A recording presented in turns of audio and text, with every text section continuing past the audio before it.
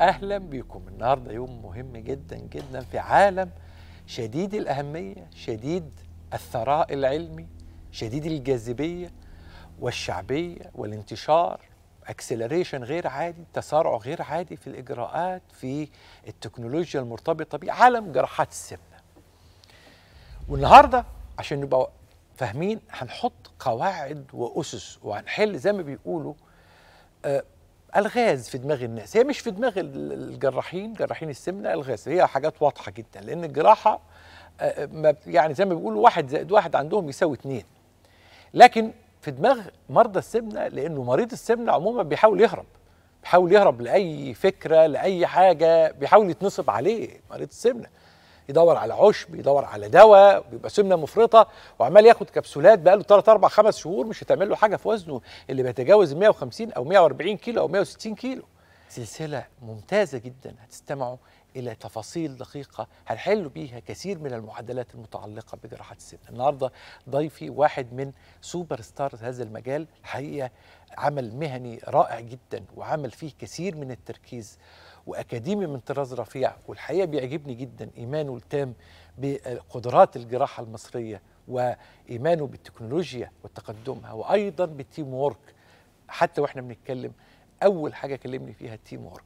ضيفي العزيز واحد من نجوم هذه الجراحات في العالم العربي واحد من الناس المبدعة في هذا المجال. ضيفي العزيز الأستاذ الدكتور كريم صبري أستاذ جراحات السمنة والمناظير الأستاذ بكلية الطب جامعة عين شمس والمدير لوحدة جراحات السمنة بمستشفى وادي النيل وزميل كلية الجراحين الملكية بإنجلترا عضو كلية الجراحين الأمريكية والحاصل على تصنيف الجودة الدولي في أعلى تصنيف للجودة الدولي في جراحات السمنة ال SRC واحد من superstars هذا المجال. أهلا بك. أهلا وسهلا أهلا وسهلا. نورني أهلا وسهلا أهلا وسهلا.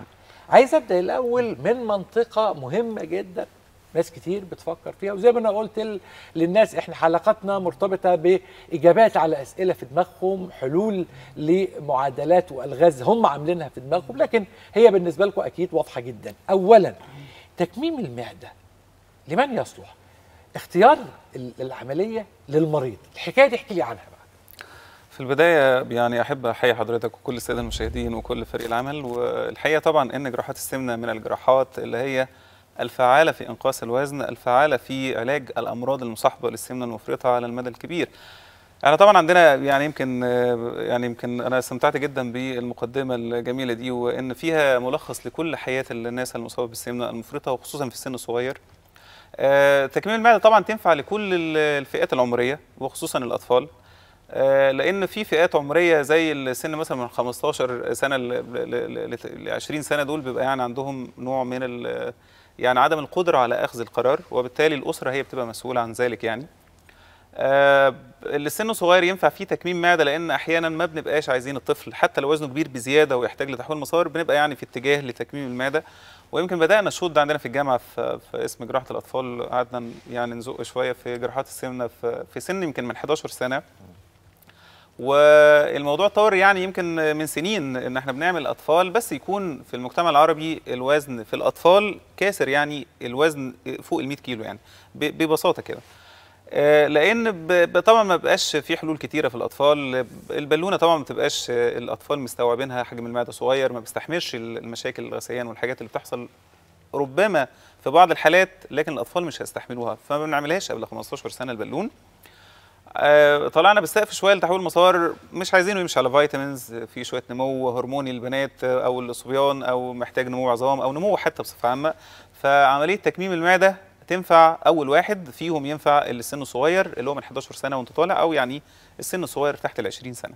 بنرجح عملية تكميم إذا لم يكن إذا لم يكن هناك أمراض مصاحبة يعني عنيفة بقى زي السكر مع السمنه ودول قليلين قوي شوية في السن الصغير. لأنه دول عادة بيبقوا آه، سكر نوع أول ويبقى وزنهم قليل وبالتالي ما بتبقاش يعني الاختيار الأول ليهم آه، تكميم المعدة.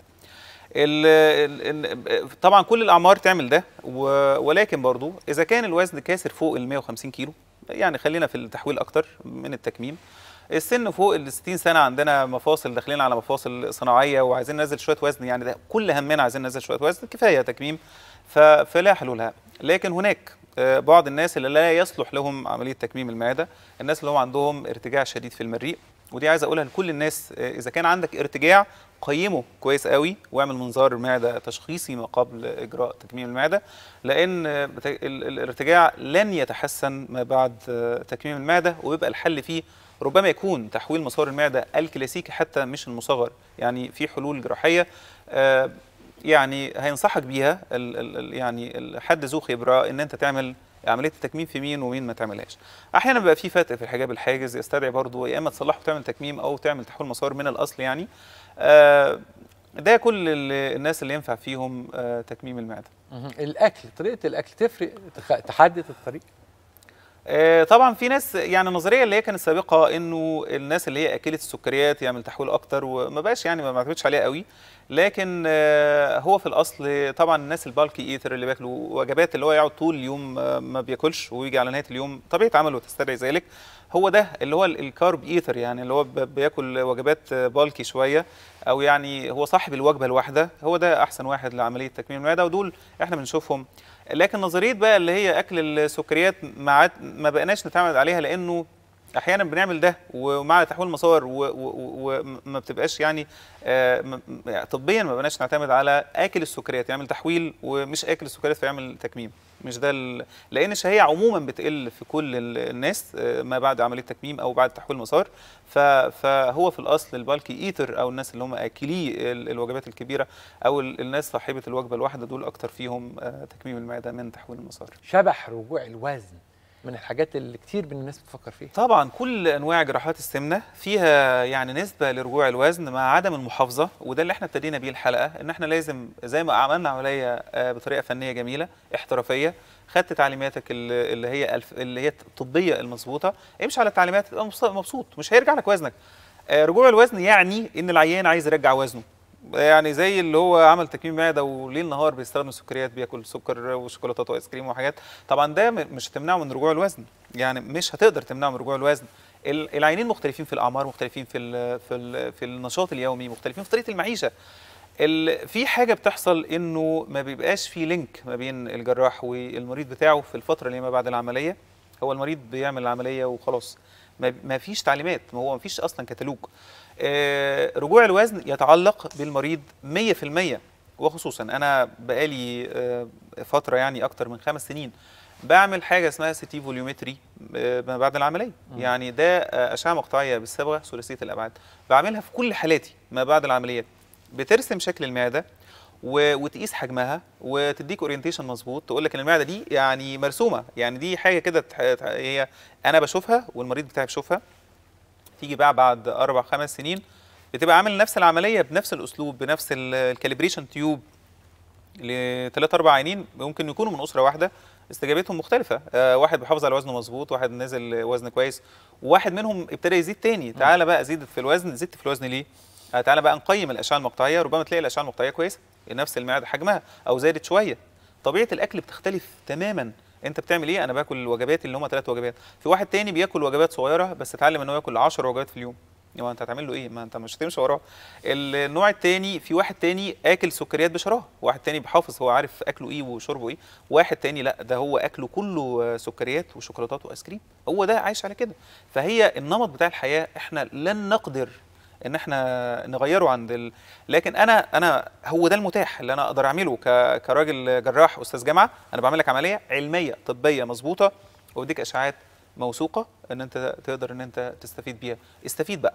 الجملة اللي أنت قلتها في الأول إن المسألة شراكة أنا وأنت طالعين طريق مع بعض. بالظبط. أنا بطلعك في. حتة معينة وأنت بتكمل بعد كده. بالظبط. لازم يكون اتفاق طبعا.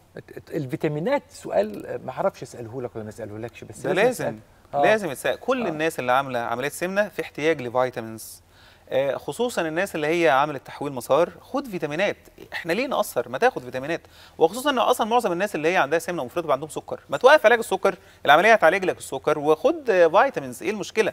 الواحد اللي وزنه 200 كيلو وعامل حتى عملية تكميم هو مشهور يعني عملية تكميم ما تاخدش vitamins ما تاخد. ما أنت بتنزل وزن كبير.